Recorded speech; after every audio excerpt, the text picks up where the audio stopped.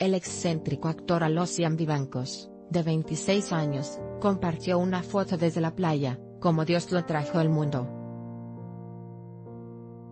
El actor dio vida a Aitor Cardone en Club de Cuervos e incursionó en el mundo del modelaje, por lo que no le teme a enseñar de más en las redes sociales. Ya ha lucido sus perfectos abdominales en la playa, pero en esta ocasión mostró su parte trasera, desde Formentera, España. Precalifica tu crédito PYME, desde $100,000 hasta $5 MDP te damos respuesta en 48 horas y puedes disponer del dinero en menos de 10 www.premo.mx.